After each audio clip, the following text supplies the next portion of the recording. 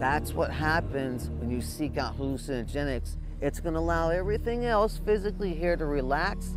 The emotional stuff is going to come out, trauma is going to come out, but afterwards your atoms are going to go back into their original positions. Why not? This is like psychotherapy, like like psychedelic therapy. That's a legitimate thing, and I would recommend it if you're in a problematic situation. But why are you going to a goddamn shaman out in the middle of a forest named some Fire Pete? Was that his name? I don't know. We're all connected. I believe When it. you get to a certain point of understanding inside your intellect mind, that connectivity, you realize your hands are basically like, like USB ports. So these are the. Uh, it's crazy to think that something that just grows out of the ground has so much power, and I'm actually holding it in my hand right now. But here we go.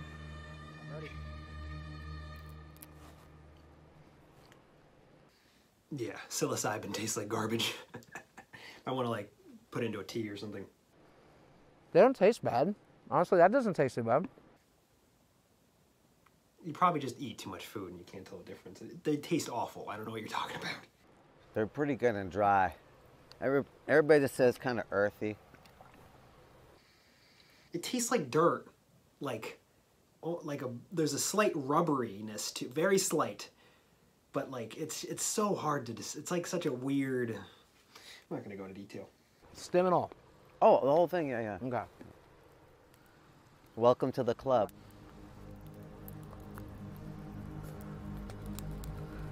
May God bless you and be with you on your journey.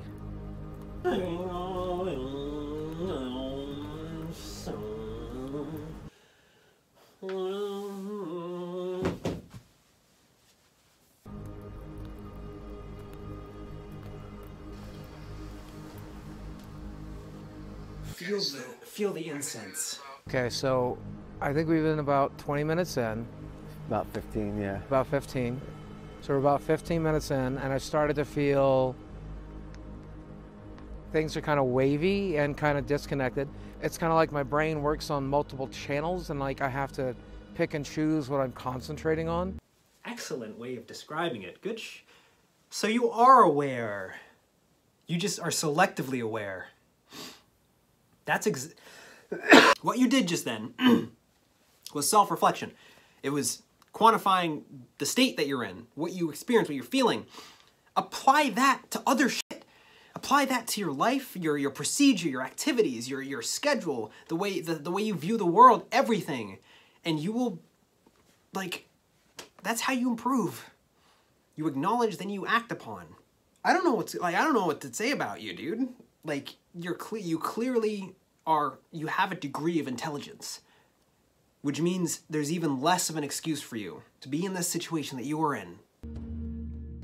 I have driven balls. I have no clue where the fuck I am or even who I am, and I don't give a fuck. I recognize. Oh, he's about to experience the second part of the realization of letting go. And we're going to get to the other side of it.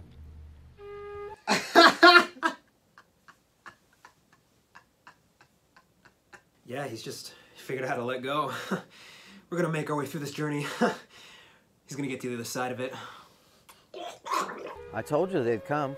It's going to get nice and bright in about five more minutes. Yeah. And the reflection in the water is really cool too. So, what do you think was the first trauma that you experienced, which you had, which which basically set up like a defense mechanism for you? Man. Yeah, my parents are just crazy. They're broken people. Parents? Yeah. Stewards. People who are like trying to. to oh, okay. Okay.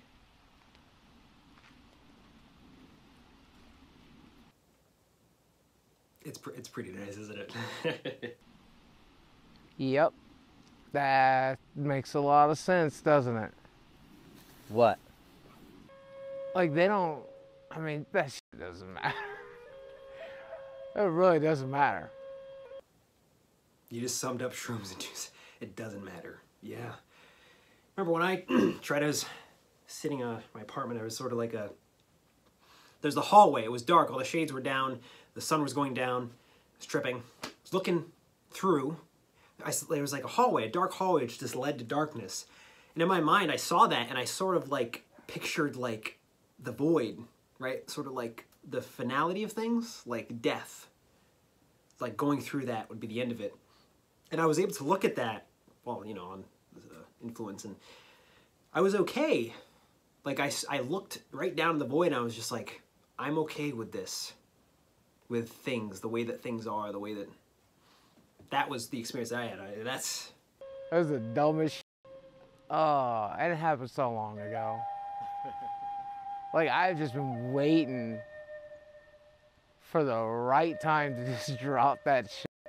So, uh, when did you feel the need of this separate personality?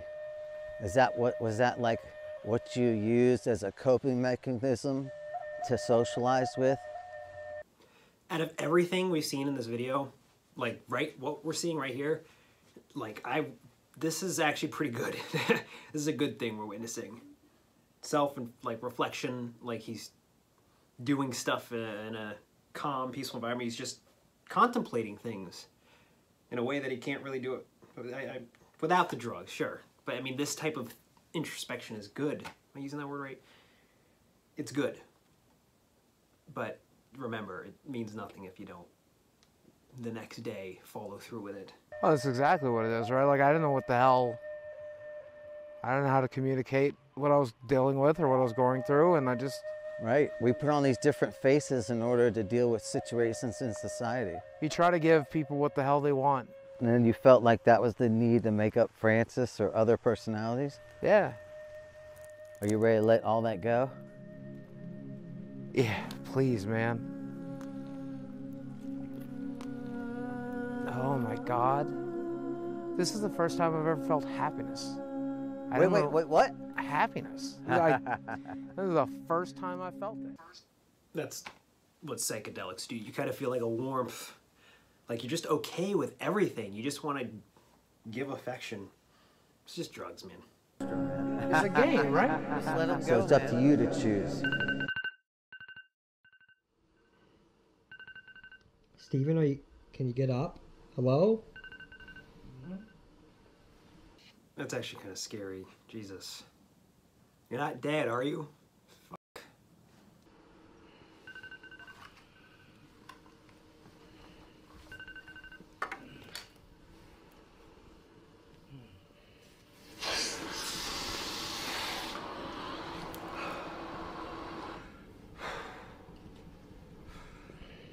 I'm still not sure I'm like really here yet.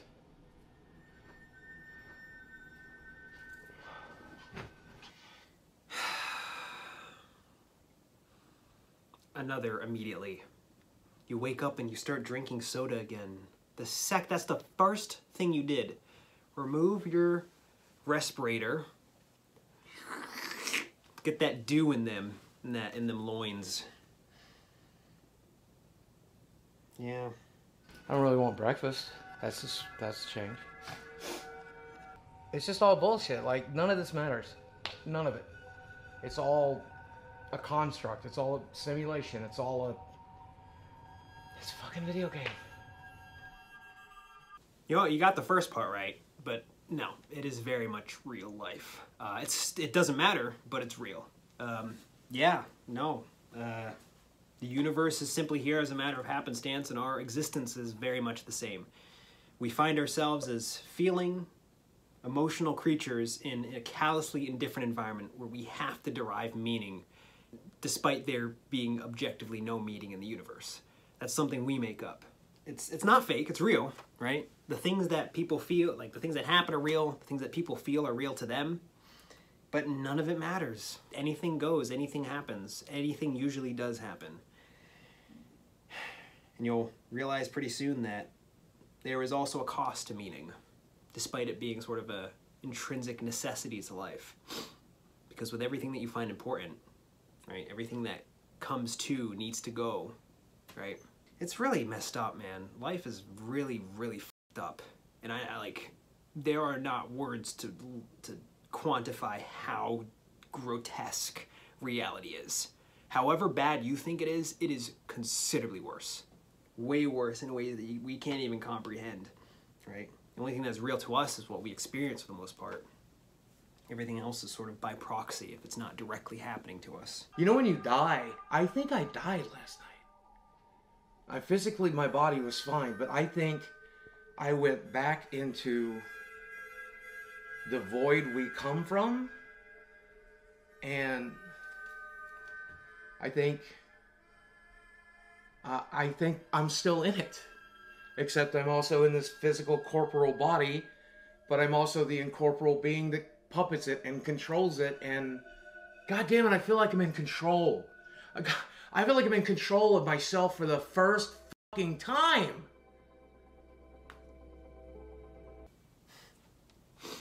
Yeah, shrooms are heavy, dude.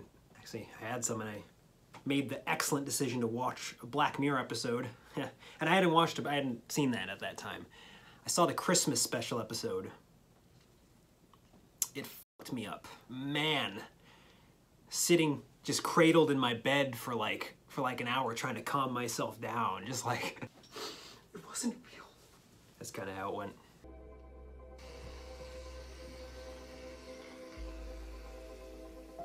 The stuff that I, I normally worry about, like worrying about my finances, worrying about my internet, worrying about what people think about me, it's all so incredibly stupid. It's all just bullshit. I think I'm gonna enjoy making YouTube videos again. I think I'm gonna enjoy live streaming again. Try to enjoy going to the gym.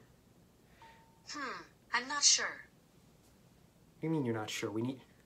Don't disagree with me on that, Alexa. Alexa, go to the gym. It just, it's like, no, I disagree. What's up, ladies and gentlemen of YouTube? Boogie2988 coming at your office. Alexa, you dare disobey me? Go to the gym. Sorry, I don't know that one. to the power. When I make a video, 10,000, 15,000, 20,000 people watch. That is still my dream job. Everybody falls off. That's part of the deal. on a channel that makes, say if you upload twice a week and you get 25,000, right? Or 25,000 views per video, right? Two videos each week, 200,000 views in a single month. Right there, that's over, it's like, a, it's over like a thousand dollars in terms of ad revenue on what you've made, right? Excluding other means of monetizing your content, which you are, can absolutely do, especially with your brand.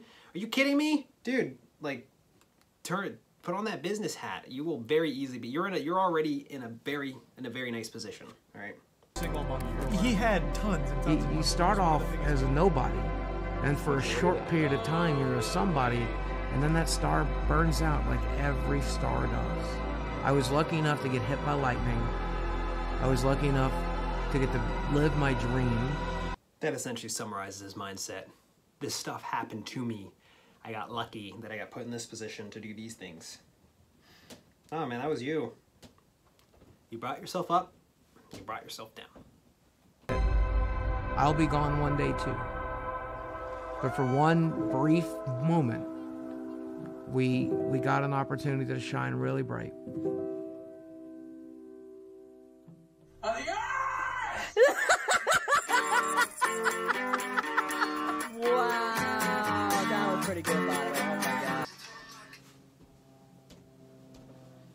Excellent documentary. Very good. Honestly. Mike klum seriously like if you do more of this i will very much be nearby to, to check out anything that you make next. Very good. And this is the first thing on the cha- on this on this website that you got right? Now final thoughts about boogie i guess. Nothing that for the most part hasn't already been acknowledged. Uh, you can alter the, the trajectory of things, right? You don't have full input in how life plays out, but you can alter a few, you know, specific variables to hedge your bets the best that you can. Now, you always need to, in my opinion, always work towards different ways to be able to have the most input on those variables, let's just say. This is an example of someone who felt like they just didn't have any there's nothing they could have done and everything was entirely reactionary. I want you to know that That's not true. You and if if what he's saying is true, which it's not, it's everyone's screwed, right? With what I'm saying, you have a chance. You have a you have a chance to be able to try to get to this place or this thing in your mind if you have an image or whatever to be able to try to manifest it within tan- tangible reality. And there are specific now as to how like that's all just I'm still figuring that out, right? I have this idea of what I think I what I want my life to be in my head and I'm trying my absolute hardest to hedge my bets in the right way to be able to enable that for myself, right? Clearly my priorities have not necessarily been in the right place if I'm still where I'm where I am.